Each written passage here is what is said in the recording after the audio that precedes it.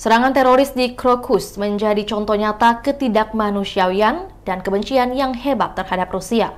Pernyataan lain dari Sekretaris Dewan Keamanan Federasi Rusia, di barat laut Rusia, 19 serangan teroris terjadi sepanjang tahun, 27 kejahatan serupa lainnya dapat dicegah.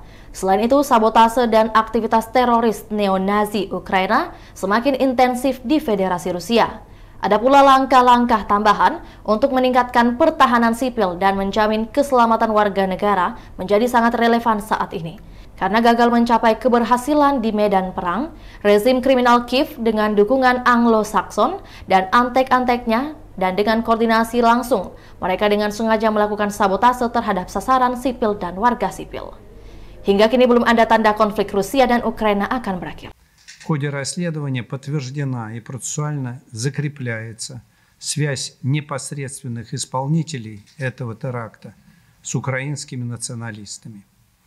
Исполнители, пособники, организаторы этого чудовищного кровавого теракта, иные аффилированные лица, где бы они ни прятались и как бы не пытались запутать следы преступления, понесут заслуженное наказание.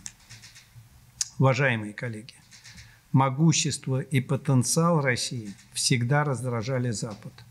В западных обществах веками взращивалась идеология собственного превосходства. История свидетельствует о неоднократных попытках ослабить российское государство. Saksikan perkembangan terbaru konflik Rusia dan Ukraina hanya di kanal YouTube Tribun Timur. Download Tribun X sekarang. Menghadirkan lokal menjadi Indonesia.